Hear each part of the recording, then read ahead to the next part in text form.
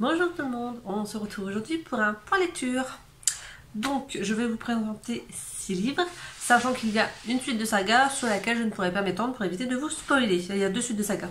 Donc le premier livre que j'ai lu et que je vais vous présenter, c'est Le parfum de la trahison de Erin Beatty ou Betty, je ne sais jamais le dire, des éditions Lumen. Donc c'est la suite du parfum de la couleur du mensonge euh, voilà, que j'avais beaucoup aimé et que j'avais lu en 2017. Donc là, c'est le tome 2.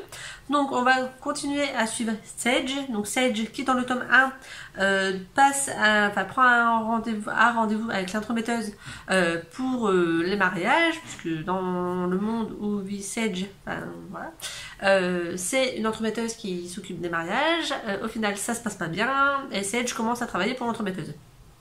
Voilà, péripéties, ça se passe, etc. Il se passe plusieurs choses. Et donc, euh, à la, donc on va suivre euh, la suite des aventures de Sage et de Alex. Et voilà, on peut, malheureusement, je ne peux pas vous en dire plus. On va le retrouver, Sage, euh, donc là où on s'est arrêté dans le tome 1. avec quelques mois qui se sont passés entre deux, mais avec pas grand chose qui a évolué dans sa situation qu'elle a à la fin du tome 1. Euh, voilà, donc en gros, euh, qu'est-ce que je peux vous dire sans trop trop vous spoiler? Donc euh, si vous n'avez pas envie d'être spoilé, je vous conseille d'arrêter là et de reprendre la vidéo plus tard parce que le problème c'est que j'ai pas envie non plus de trop trop en dire, j'ai pas envie que vous soyez déçus. Mais en gros, on va retrouver Sedge avec son fameux caractère où on lui demande de rester à sa place et qu'elle va tout faire pour pouvoir partir là où on lui dit qu'il faut pas qu'elle aille. Elle va finir par réussir à aller à cet endroit et il va se passer plein de choses qui euh, ne seraient pas arrivées si elle serait restée à sa place. Voilà. Mais j'ai beaucoup aimé parce qu'elle a un super caractère. Euh, j'adore euh, j'adore son caractère de fille forte qui c'est pas parce que c'est une fille qu'elle a pas de faire les choses comme les hommes, c'est pas aux hommes de décider, etc. Donc j'aime bien, son, bien son caractère. j'ai beaucoup aimé les aventures. On découvre d'autres d'autres peuples euh, dans ce bouquin et j'ai trouvé ça très sympa de découvrir euh, d'autres horizons euh, que, bah, que ceux qu'on connaissait déjà dans le tome 1. Voilà, donc les mois au niveau de ce livre, il y a eu quelques larmes, quelques lenteurs par moment, j'ai trouvé. Après, ça c'est mon point de vue comme d'habitude. Les plus, il y a eu beaucoup de rebondissements et bah, des découvertes de nouvelles cultures et de nouveaux pays, comme je vous disais. Donc c'est pas un coup de cœur car voilà, il y a des moments qui me semblaient un petit peu longs quand même, mais j'attends euh, toujours avec impatience, euh, enfin j'attends avec impatience le tome 3, comme j'attendais avec impatience le tome 2. Euh, sachant que c'est un livre qui fait 538 pages, je lui quand même mis la note de 4,5 sur 5, donc parce que c'était quand même une très très bonne lecture. Bon voilà, donc ça c'était le petit 1. Le tome, le livre 2 et 3 que je vais vous présenter, c'est le tome 2 et 3 de la saga Les Insoumis de Alexandra Bracken. Euh, donc, pareil, je pourrais pas trop vous en dire puisque c'est une suite de saga. Une suite est, enfin, une suite est faite entre guillemets, puisqu'en fait, il y a une suite de, ça. En fait, de base, Les Insoumis, c'est une trilogie. Et suite à la sortie du film, que je n'ai toujours pas vu, il y aurait une suite de livres. Sauf que pour l'instant, je ne l'ai pas encore trouvé en étude, etc. Donc, euh, je commence à farfouiller un peu le net pour voir si j'arrive à le trouver. Donc, on va suivre la suite des aventures de Ruby, de Liam, et etc. Euh, il y aura encore beaucoup de rebondissements. Donc, pour vous remettre dans le contexte, Ruby est une orange. Donc, en fait, il y a une, une genre d'épidémie qui s'est euh, abattue sur les États-Unis qui fait que les enfants, au niveau, quand ils arrivent vers une dizaine d'années, développent des, des capacités ou décèdent. Euh, si les enfants développent des capacités, ils sont mis dans un camp, genre un camp de travail. Enfin, normalement, c'est un camp de réhabilitation pour les guérir, etc. C'est ce qu'ils font croire aux parents. Au final, c'est clairement un camp de travail où les gamins, ils sont, euh, euh, ils sont sous-alimentés, ils sont maltraités, etc. Donc Ruby, se rendant compte que les oranges ne sont pas très bien traités, a fait croire dès le début qu'elle était une verte. Arrive elle arrive à s'évader. Et on suit ses aventures donc par rapport à ça. Et euh, donc toutes ces péripéties. Donc euh, on va continuer à suivre ces péripéties dans le tome 2 et le tome 3. Euh, voilà, donc il y a encore une fois beaucoup, beaucoup de rebondissements, des choses auxquelles je ne me serais pas du tout attendue. Enfin, je ne m'attendais pas de tout comme ça. Enfin voilà, donc, euh, en tout cas, c'est une, c'est d'une saga, que, une trilogie pour l'instant, puisque j'ai lu les trois premiers tomes, que j'ai beaucoup aimé. Je vais essayer de trouver, donc, comme je vous disais, la suite de ces livres. Euh, ah, donc en tout cas, c'était une bonne bonne lecture. J'ai mis la note de 4,5 sur 5, pareil, parce que j'ai beaucoup aimé cette saga. Par contre, euh, pour les jeunes qui me suivent, euh, je peux le conseiller, mais pas forcément très très jeune. J'attendrai quand même au moins 16 ans, dans le sens où il y a beaucoup, beaucoup, beaucoup de scènes de violence. Euh, voilà, donc euh, le tome 2 faisait 512 pages, le tome, le tome 3 faisait également 512 pages. Voilà. Ensuite, je vais vous présenter la vérité sur l'affaire Henri Kébert de Joël Dicker que j'ai lu, enfin que j'ai écouté en livre audio sur Audible, puisque avec, si vous ne savez pas, avec Amazon Prime, vous avez le droit à 3 mois offerts sur Audible. Donc voilà, j'en profite de mon Amazon Prime pour avoir les 3 mois offerts. Donc le premier livre que j'ai écouté, c'était euh, La vérité sur l'affaire Henri Kébert. Donc on va suivre euh, l'histoire d'un écrivain, Marcus, qui a euh, sorti un livre qui a eu un énorme succès. Il doit sortir le tome 2, sauf qu'il a euh, la, bah, la, page blanche, il n'arrive plus à écrire, il ne trouve pas d'histoire qui l'intéresse. Voilà, ça marche pas, sauf que ben, sa date euh, arrive bientôt à échéance pour rendre son deuxième livre, puisqu'évidemment il a signé un contrat avec sa maison d'édition. Et ça commence à être un peu compliqué pour lui. Il appelle son ancien professeur qui, enfin, qui est son mentor, donc Henri Kébert, et Henri lui dit bah, Viens passer quelques, quelques jours à la maison, quelques semaines pour euh, être calme et puis euh, faire le point un peu et pouvoir, euh, et pouvoir écrire. Donc Marcus va aller là-bas, etc. Ça va bien se passer. Bon, pas forcément réussir à écrire, mais bon, ça va aller. il va rentrer chez lui et il va recevoir un appel de Henri en disant Oui, je suis désolée euh, voilà, enfin en gros il s'excuse, mais euh, sauf que Marcus il sait pas ce qui se passe, etc. Jusqu'à ce qu'il reçoit un autre appel de je ne sais plus qui, clairement, disant que Henri Kébert vient d'être arrêté. Donc euh, lui il a les infos, etc. Et en fait, donc son mentor Henri s'est fait arrêter pour. il est accusé de meurtre sur une jeune fille d'une quinzaine d'années. Et le meurtre date d'il y a plus de 30 ans, je crois, euh, qui date de beaucoup d'années. Et en fait, le corps de la jeune fille a été retrouvé dans son jardin. Trop bien. Donc là, toute une enquête va être menée. Henri va être mis euh, en prison en attendant de pouvoir prouver ou non son innocence, sachant qu'entre guillemets l'Amérique l'a déjà condamné en disant c'était lui le coupable. Donc ben, tout de suite euh, le jury, ben, lui, va rester sur les impressions entre guillemets du public. Donc pas top top.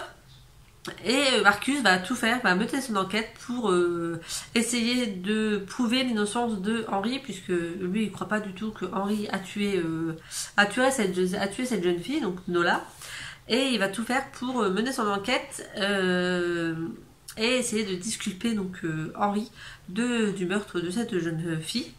Et euh, il va aller de découverte en découverte en enquêtant, de, de péripétie en péripétie. Euh, il va pas forcément être bien reçu par la police parce que ben il enquête alors que c'est pas trop son boulot.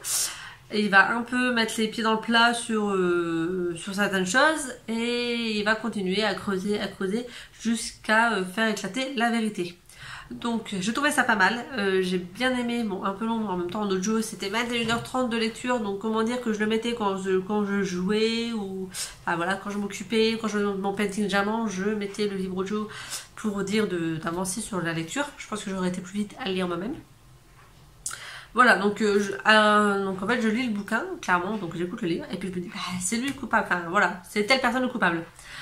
Et en fait, un nouveau rebondissement fait que non, ça peut pas être cette personne. Et donc on se dit, bah c'est elle alors.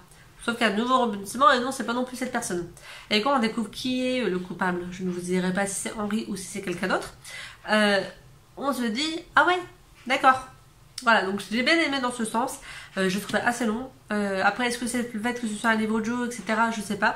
Est-ce que c'est le fait que tout le monde dit ouais, c'est magnifique, etc. Je ne sais pas.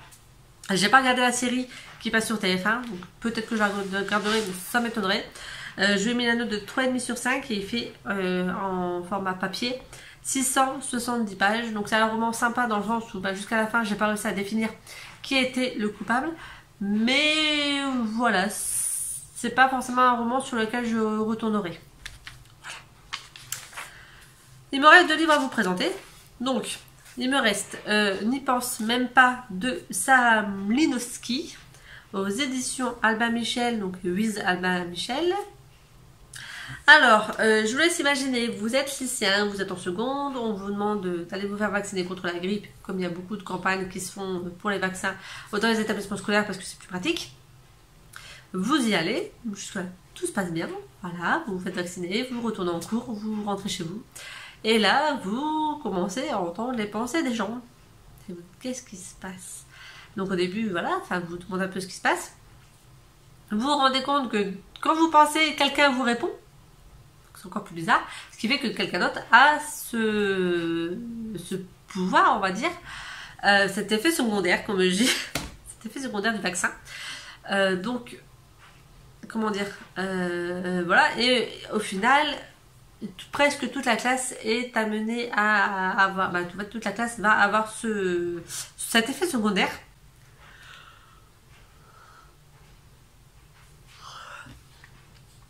Sauf ben, la seule personne qui ne s'est pas fait vacciner, qui elle évidemment ne peut pas entendre les pensées des autres puisqu'elle n'a pas reçu le vaccin. Et euh, ben, imaginez-vous, vous êtes ado, donc vous n'êtes pas forcément bien dans votre peau, vous avez un petit copain, il y a des problèmes à la, maison, euh, et vous entendez toutes les pensées, et tout le monde entend vos pensées. Et donc c'est un peu compliqué euh, ben, d'assumer ce, qu'on pense vraiment. Et voilà, donc euh, je l'ai trouvé sympa face à un roman young adulte euh, qui se fait très rapidement. J'ai bien rigolé franchement parce qu'il y avait des bons moments. On voit aussi que ben, c'est pas parce qu'on est jeune qu'on a forcément des décisions faciles à prendre et qu'on a une vie très simple. Donc euh, non mais j'ai beaucoup aimé, franchement je le recommande à, tous les jeunes qui veulent passer un petit moment sympa. Il faisait 327 pages, donc pareil, il se lit rapidement. Et je lui mis la note de 4 sur 5 parce que voilà, il était sympa. Et je pense que c'est un livre que je vais certainement mettre dans une boîte à livres pour permettre, pour permettre à d'autres personnes de le découvrir. Sachant que c'est un livre que j'avais acheté euh, à 2, je crois, 2,99€. Voilà. Et le dernier livre que je vais vous présenter, c'est La véritable histoire de Noël de Marco Leno aux éditions Michel Lafon. Oui, je sais, c'est pas Noël, mais en fait je l'ai lu hier et hier il neigeait donc euh, comment vous dire que moi j'étais en mode cocooning, c'est Noël, il neige, allez on sort une histoire de Noël. Voilà. Donc j'ai lu la véritable histoire euh, de Noël, j'en avais beaucoup entendu parler, donc je me suis dit allez, euh, voilà, j'étais tentée, donc je l'ai lu en format EPUB, donc en gros, donc il y a deux étés, il y a deux étés, n'importe quoi. En été, il y a deux enfants qui vont euh, plonger et qui vont remonter un coffre dans lequel je trouve une montre à gousser avec dedans un petit mot de Nicolas qui l'adresse à sa petite sœur, euh, Ada. Voilà. Donc jusque là, tout va bien. En fait, il les enfants vont ramener le coffre à leur grand-père. Et euh, de là, leur grand-père va leur dire Ah, mais oui, c'est possible. Et là, les garçons, ils vont dire Bah, qu'est-ce qui se passe? Et le grand-père va leur raconter l'histoire de Nicolas euh, qui euh, ah, donc l'histoire de Nicolas qui va amener bah, la véritable histoire de Noël. Donc c'est un livre jeunesse de base qui se lit très rapidement. Il fait 299 pages. Enfin clairement je les ai pas vu passer les 299 pages. On voit que malgré ce qui arrive à Nicolas, il essaye de garder le moral et de relativiser malgré son jeune âge au début euh, du roman. On voit également euh, la solidarité qu'il y a entre les personnes, surtout euh, des personnes, enfin encore plus des personnes qui n'ont pas forcément les moyens d'être solidaires, ils vont tout faire pour, pour aider ce, petit garçon. Voilà, donc on voit ça, on voit la générosité, on voit l'aide au prochain, on voit la misère, on voit euh, euh, l'espoir, on voit euh, le deuil. Voilà, on voit beaucoup de choses dans ce livre qui sont très abordées de façon très sympa. Enfin voilà, j'ai beaucoup aimé. Je pense que dans quelques années, ce bouquin sera lu à mon fils. voilà, donc je trouve ça plutôt bien. Et on n'est pas, moi j'avais un peu peur de partir sur le mythe, le gros, voilà, le attention les enfants, mettez cette vidéo. Le gros mythe du Père Noël, que euh, personnellement je suis pas très pour euh, voilà. Euh, c'est mon point de vue personnel. J'avais un peu peur de tomber dans ça dans le voilà le, bonhomme joufflu etc du Père Noël.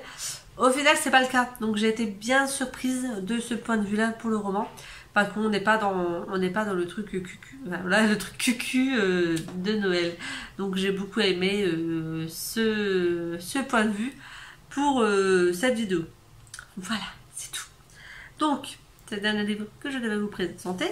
Euh, je, mis je sais plus je l'ai dit. Je mis la note de 4,5 sur 5. Comme quoi j'ai beaucoup aimé. Voilà, dernière que, que, je vous ai présenté. Là, je vais commencer aujourd'hui ou demain, on verra, on verra mon humeur. Euh, Phobos, le tome 2, parce que j'ai très envie d'avancer sur cette saga.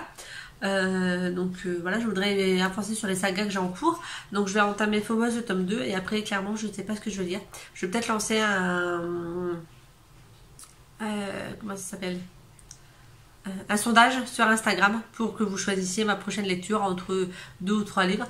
Je vais voir si je, fais ça ou si je choisis pas moi-même. Voilà, je sais pas, on verra bien. Donc j'espère que cette vidéo vous aura plu.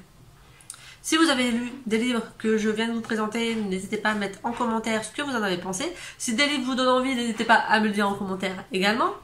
Euh, je vous invite comme d'habitude à me suivre sur Instagram puisque je publie régulièrement, enfin j'essaye à chaque fois que je commence un livre de publier sa photo pour que vous sachiez ce que je suis en train de lire. Euh, voilà, donc sur Insta vous pouvez suivre mes lectures quasiment au jour le jour. Sachant qu'il n'y a pas de résumé sur Instagram puisque je, je garde mes points de lecture pour euh, YouTube. Voilà, mais suivez-moi quand même ça peut pas faire de mal. Mais un pouce en l'air si cette, vidéo vous a plu. Et si vous n'êtes pas encore abonné, n'hésitez pas à vous abonner à ma chaîne. Voilà, je vous souhaite une agréable journée et je vous dis à très bientôt pour une autre vidéo. Bye